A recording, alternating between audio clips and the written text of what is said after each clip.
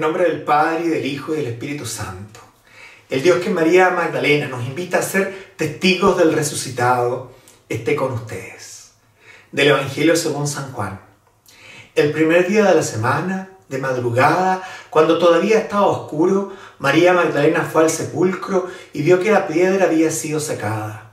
Corrió al encuentro de Simón Pedro y del otro discípulo al que Jesús amaba y les dijo, se han llevado del sepulcro al Señor y no sabemos dónde lo han puesto. Pedro y el otro discípulo salieron y fueron al sepulcro. María se había quedado fuera llorando junto al sepulcro.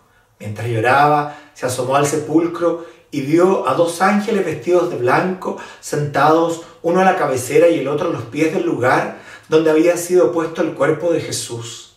Ellos le dijeron, Mujer, ¿por qué lloras? María respondió, porque se han llevado a mi Señor y no sé dónde lo han puesto. Al decir esto se dio vuelta y vio a Jesús que estaba allí, pero no lo reconoció. Jesús le preguntó, Mujer, ¿por qué lloras? ¿A quién buscas?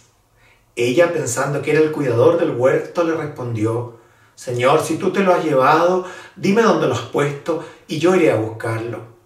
Jesús le dijo, María. Ella lo reconoció y dijo en hebreo, Raboní, es decir, maestro.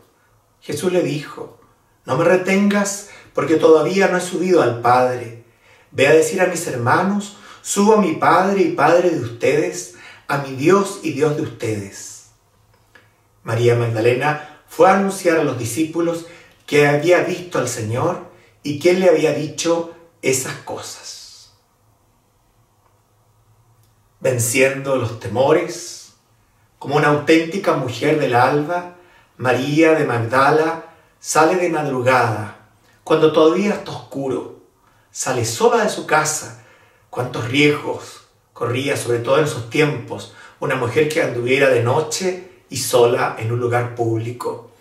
Pero vence todo obstáculo porque quiere ir al sepulcro, porque quiere tal vez terminar con los ritos sepulcrales que quedaron pendientes el día de la crucifixión pero también porque quiere con alguna tenue esperanza ver si se encuentra con el Maestro.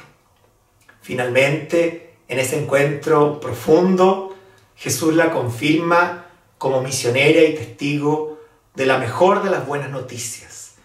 Ve y dile a mis hermanos que he resucitado y que me verán también ellos en el camino. Nosotros, como María Magdalena, hemos de vencer todo obstáculo y salir de madrugada, aunque esté oscuro, para anunciar a un mundo la buena noticia de Jesús resucitado.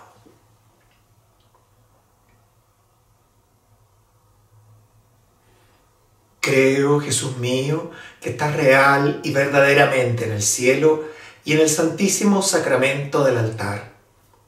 Te amo por sobre todas las cosas y deseo vivamente recibirte dentro de mi alma. Mas, no pudiéndolo hacer ahora sacramentalmente, ven espiritualmente a mi corazón.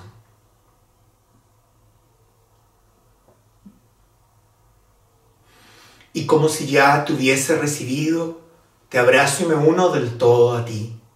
Señor, no permitas que me separe de ti que por intercesión de María Magdalena nos bendiga y nos confirme como testigos de la resurrección el Dios que es Padre, Hijo y Espíritu Santo.